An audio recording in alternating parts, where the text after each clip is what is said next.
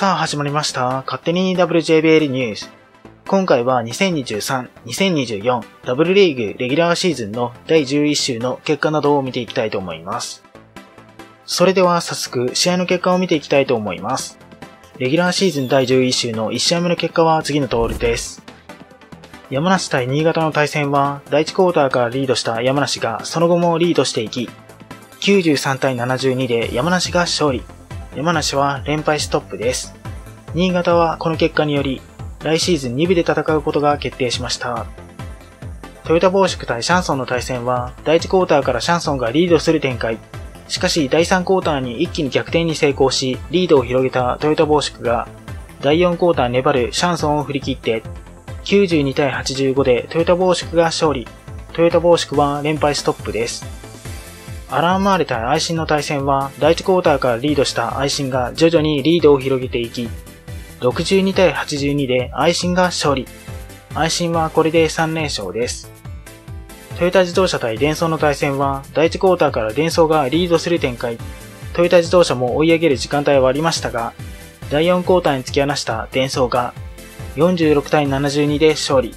デンソーはこれで11連勝です。日立ハイテク対富士通の対戦は、第1クォーターからリードした富士通がその後もリードしていき、60対83で富士通が勝利。富士通はこれで3連勝。日立ハイテクは敗れたものの、今シーズンの8位以上が確定し、プレーオフ進出が決定。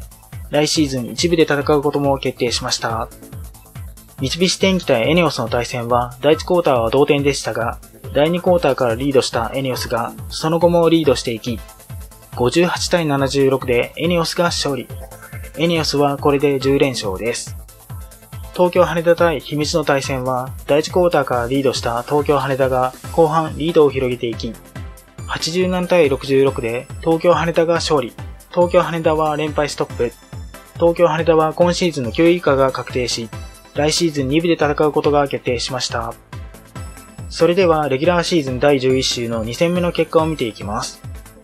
山梨対新潟の対戦は、接戦の激しい展開の中、第4クォーター山梨が逆転し、リードも、残り約58秒のところで、新潟が逆転3を決め、そのままリードし続けた新潟が、63対68で勝利。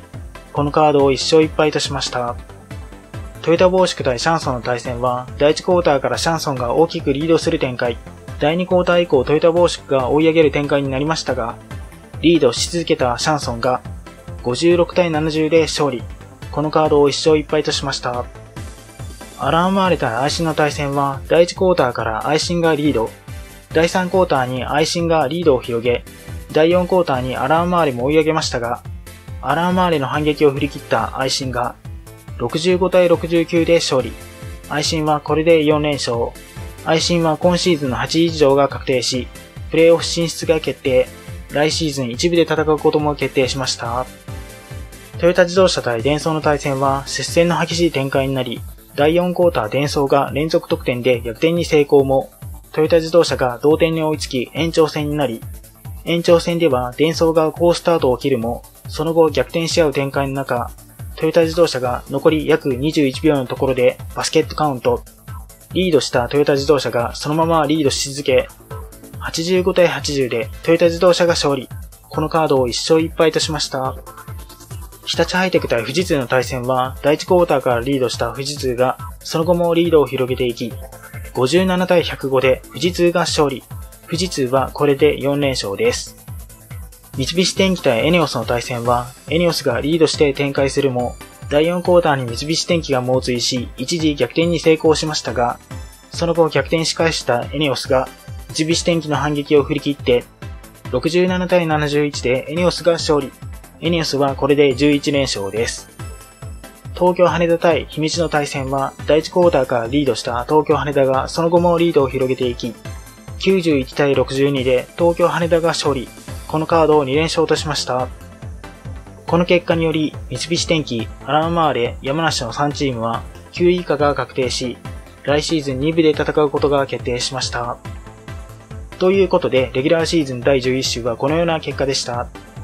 それでは第11週終了時点での順位表を見ていきます。1位は20勝2敗のトヨタ自動車。2位も同じく20勝2敗のエネオス。3位は19勝3敗のデンソー。4位も同じく19勝3敗の富士通。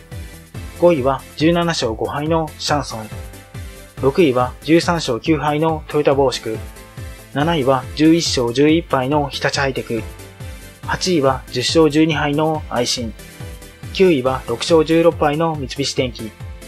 10位は5勝17敗の東京羽田。11位は4勝18敗の山梨。12位も同じく4勝18敗のアラーマーレ。13位も同じく4勝18敗の新潟。14位は2勝20敗の姫路となっています。ということで順位表を見ていきました。それでは第12週の対戦カードを見ていきたいと思います。第11週は延長戦の激戦があり、1勝1敗の対戦も多く、それだけ激しい戦いが行われていました。そんな中、愛心が連勝で8位以上を確定させ、8年ぶりのプレーオフを決めました。